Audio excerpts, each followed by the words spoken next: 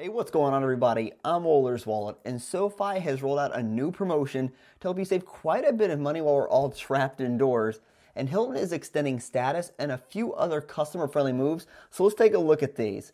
Now, if you're someone who likes credit card rewards and learning how to travel for less, hit that subscribe button and don't forget to turn that notification bell on as well so you don't miss out on future videos. Also, considering the video a thumbs up, it really does help the channel out. Now, let's first start off talking about SoFi, and I've talked about SoFi a few times mostly regarding their money account and how it can be a great option as an international debit card. And I'm just becoming a bigger and bigger fan of their products.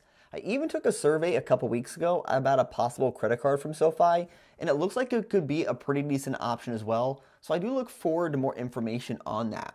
Now, SoFi has offered promotions on their money accounts to help you save money in the past, like earning 20% cash back on Lyft rides, which was a pretty good offering if you're somebody who used Lyft. And again, SoFi is coming through with a great promotion to help people save money, considering most of us are in our houses due to. And if they keep this up, I'm going to start calling these SoFi offers.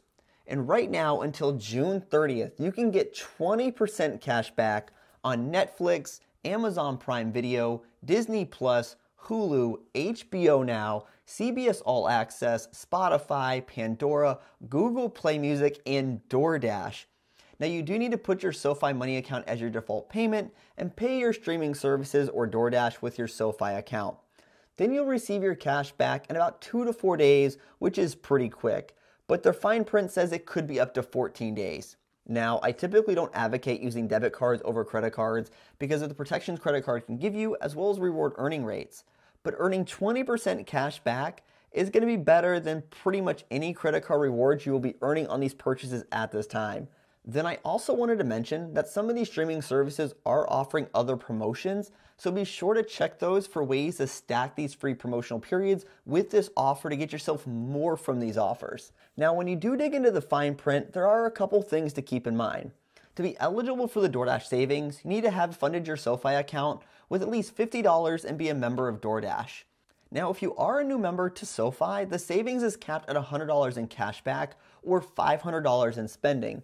But if you're a current member, the cashback is capped at $40 or $200 in spending. And I think this is a little unfortunate. I really think it should be the same for all members, new or current. Also, if you haven't ordered from DoorDash before, there are tons of promotions out there to get $15 off your first order, so this could be a nice way to stack those offers. Then for the streaming services, SoFi mentions it's for ongoing monthly subscription payments, so it looks like paying for the full year upfront is not eligible. But I'll be curious if this is actually enforced or not, because if it's not enforced, then you can actually look to stack Rakuten with SoFi for up to 50% off when you're looking to purchase Disney Plus. So be sure to let me know if you decide to pay for an upfront year and if it triggers that 20% cash back. And the maximum amount of cash back for the streaming payments is going to be $75 back, which is $375 in spend. Now, even with these restrictions, I think this promotion is pretty awesome since people are indoors right now using streaming services to pass the time. this is a great way to save money on those services you're using anyways. And if you use DoorDash to begin with, then I think this is a solid offer as well. Now let's talk about Hilton and what they're doing. Now, Hilton is the first company I've seen to extend status for their customers, and I really like this proactive move. It's a customer friendly move and it also reduces people's worries about their statuses. Now, I do expect Hyatt and other hotels to do something for their customers regarding their statuses. They could just be waiting to see what the damage is done and how long travel shut down before making a decision. But I would be extremely shocked if other hotels did not extend statuses for customers. But Hilton didn't even look at that. They seem to have went what would have been best for their customers, and I love that. And if your status from 2019 was going to be downgraded as of March 31st, well, you're receiving an extension for one year. So you get to keep your status for another year and it'll expire in March of 2021. And if you currently have status for 2020, well, then you get to keep your status for two years, which is fantastic.